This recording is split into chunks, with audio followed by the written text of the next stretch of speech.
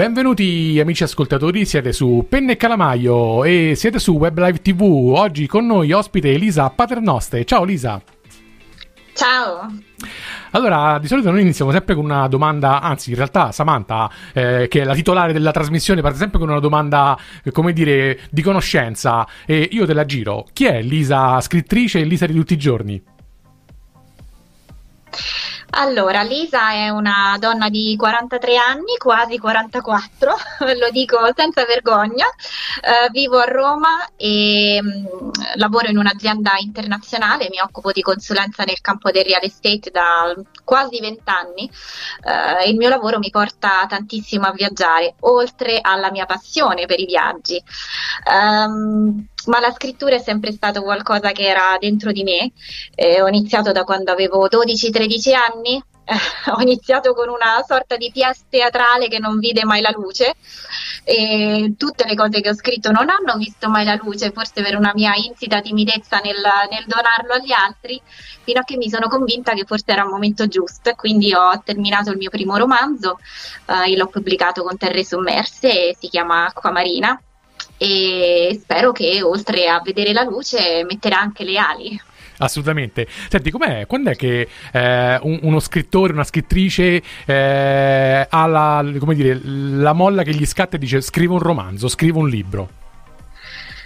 Guarda, io vivo di, di, immagini, di situazioni, di eventi che mi capitano e dentro la mia testa mi faccio una serie di altre versioni possibili della realtà immaginaria che poteva succedere in qualsiasi cosa che mi, che mi attraversa. Eh, e quindi qualsiasi cosa per me entra nella testa e diventa qualcosa di diverso e mi piace metterlo per iscritto. Quindi per me funziona così, non so per gli altri, ma per me è tutta una cosa che, che succede nella mia testa e poi cerco di metterlo a parole. Senti, com'è il tuo modo di scrivere? Sei una che scrive, diciamo, taccuino alla mano o fogliettino volante perché magari ha l'illuminazione divina, oppure, ecco, ponderi un po' di più e quindi la scrittura è un po' da tavolino, ecco? Uh, c'è molto, quello che parte è molto di getto, quindi in quel momento in cui mi figuro questa situazione devo metterlo per iscritto. Adesso andiamo avanti con tablet e cellulari e quindi sì. è un po' più comodo in questo senso, anche se ho la penna, lo scritto, ecco tutto qui da, vicino a me. Uh, e poi però inizio a rilavorarlo, a creare la situazione più ampia intorno ad esso sicuramente. Senti, questo, in questo libro Acquamarina eh, quant, quanto c'è di te, o meglio, c'è un personaggio che ti identifica oppure eh, l'hai un po' eh, idealizzato con te stessa? Allora, la protagonista che si chiama Alice è una ragazza di 23 anni, sicuramente non sono io, ma il punto di partenza per creare la protagonista ehm, sono due caratteristiche fondamentali, due passioni che io ho, che sono la fotografia e i viaggi. E sono partita da lì e poi è una persona completamente diversa da me, però ha questi, questi due elementi caratterizzanti che sicuramente sono presi da me come partenza. Infatti mi ha anche un po' anticipato la domanda che ti volevo fare, è proprio quella, eh, leggendo anche la sinossi del libro, eh, la, la, protagonista eh, viaggia molto, no? proprio per, sue, eh, per quello che gli accade. Ehm, questo fa, fa, parte anche di te, nel senso che comunque anche tu sei una viaggiatrice, l'abbiamo letto sulla tua biografia, quindi eh, hai voluto comunque mettere la, sua, la, sua passione, la tua passione nel, nella sua esperienza. Assolutamente e, e, anche negli altri scritti. Il viaggio per me è, una, è, un'esperienza di vita e viaggiando trovo l'ispirazione per quello che, che, devo scrivere, quindi incontrando persone, vedendo luoghi diversi, paesaggi, culture, il cibo, eh, fa tutto parte del, della caratterizzazione poi dei miei personaggi e delle, e delle ambientazioni, quindi senz'altro c'è molto di questo. Senti, a prescindere ovviamente da, dalle, da, dalle, cose che chiaramente che abbiamo vissuto in questi due anni, ma eh, per, una, per, una, viaggiatrice, ecco, eh, con, con, la V maiuscola, eh, quanti sono stati duri questi due anni?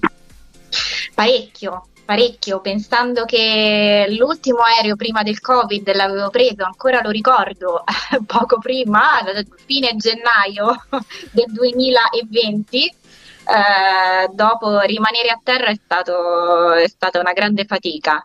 Eh, faccio ancora fatica anche se grazie al mio lavoro sono riuscita a partire, adesso sì, siamo un po' più liberi in questo senso, però dover sottostare a tutte queste regole, sentirmi un po' come in gabbia, per me quella è stata la situazione anche se senz'altro ci sono cose peggiori, ma mi ha fatto sentire molto in gabbia, è, questa è la sensazione.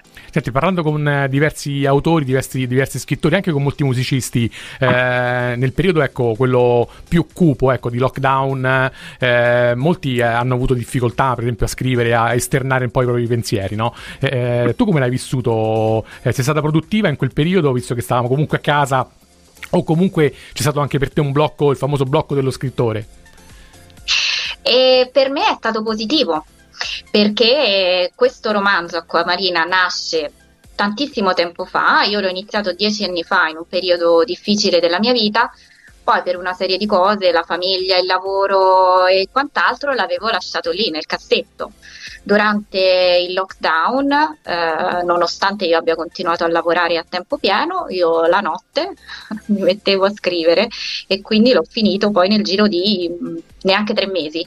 E quindi per me è stato assolutamente fonte di ispirazione e anche di coraggio nel decidere che finalmente avrei dovuto terminarlo e darlo a qualcun altro che non fossi io. Eh, beh, questa diciamo ecco eh, chiamiamola una delle cose positive insomma di quel periodo che ci, hanno, che ci hanno un po' costretto a stare a casa ovviamente senti invece è un'altra tua grande passione è proprio la fotografia no? Eh, e, e, quello è un altro grande aspetto eh, anche artistico non solo tecnico perché molti dicono no, ma la fotografia è molto tecnicismo in realtà è, è molta arte anche quella sì, eh, è una grande passione, anche se non credo di avere un grandissimo talento, mi sono rassegnata, ma è comunque una grande passione e, e come dici tu, sì ci vuole la tecnica, ma la fotografia è un attimo, ti devi trovare nel momento giusto, devi avere l'occhio giusto per quella esatta situazione e il più delle volte è così che nascono i grandi scatti.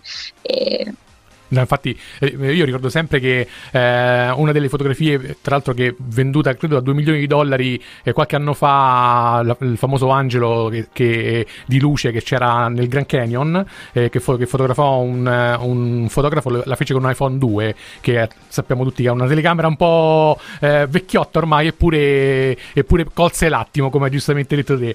Ehm, senti, mh, domanda che esula un po' dal mondo letterario. Eh, eh, visto che siamo su una, su una, web radio, chi sono i tuoi artisti di riferimento musicale? Cioè, nel senso, se magari quando scrivi eh, ascolti musica oppure c'è, c'è qualche sottofondo che ti ispira?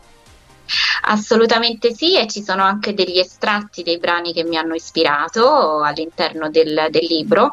Io sono una rocchettara e soprattutto il rock grunge degli anni 90, i miei preferiti sono i Per Jam, i Foo Fighters, e quindi quello è il, è il, mio mondo e che mi dà molta ispirazione, anche se spazio un po' su tutto, eh. la musica è grande fonte di ispirazione per me. Deve esserci sempre il sottofondo quando scrivo. Che, tra, l'altro, tra l'altro, il grunge, quello, quello, strong, insomma, quello bello tosto, insomma, prima maniera, che ci piace un sacco. Senti, invece... Sì, mi deve lacerare dentro, altrimenti non posso scrivere. Giusto, giustissimo. Senti, invece, ehm, come lo vivi questo grande terremoto digitale che, che ci sta investendo, no? Ormai qualche anno, ma in realtà eh, oggi, ecco, sia nel campo musicale, Spotify, i suoi 50 milioni di brani in uno smartphone, ma anche, ecco, nel mondo della scrittura eh, oggi mh, mm, non si scrive più, diciamo così, a penna, ecco, ma ecco, con tutti questi supporti digitali che ci sono, come lo vivi? Mi sono adattata anche se come dicevamo prima comunque scrivo, devo prendere appunti perché le cose mi restano nella testa soltanto se le scrivo a mano, eh, però mi sono adattata perché è sicuramente più comodo e poi si vive anche di social, se si vuole promuovere qualcosa bisogna prestarsi al gioco, eh, sempre con le dovute modalità, i dovuti criteri. E, ehm, ed è comodo perché se devo darlo al, all'editore, al correttore, eh, deve essere già online, altrimenti è un lavoro triplo, quadruplo. Sì, infatti è un argomento interessante questo che hai sottolineato proprio per il fatto che oggi eh, ecco, uno scrittore come un musicista una volta si faceva la sua opera e poi c'erano gli altri che facevano il resto. Oggi invece tra promozione, social, la foto su Instagram è diventato è peggio di un lavoro, cioè una passione lavorativa, ecco, chiamiamola, chiamiamola così. È vero. Senti, invece veniamo alle domande quelle più tecniche, siamo quasi alla fine della nostra piacevole chiacchierata. Eh, prima di tutto, allora, il tuo libro come si può acquistare? Dove lo possono i nostri lettori, dove, lo, dove i nostri ascoltatori, dove lo possono acquistare? Allora, è in distribuzione in maggiori librerie, scusami, eh, e anche in tutti i bookstore online, incluso anche i canali più grandi come Amazon. Perfetto, invece per chi invece magari vuole, vuole seguire te, vuole eh, seguire il tuo percorso da scrittrice, do, dove ti può trovare? Allora, sicuramente eh, ho un mio sito web um, ehm, www.lista-paternoste.com all'interno ci sono tutte le novità, gli eventi che sono prossimi, la presentazione che faremo il 14 aprile a Roma uh, e c'è anche il mio canale Instagram e c'è anche modo di contattarmi direttamente qualora si volesse. Perfetto. Senti, l'ultimissima eh, domanda.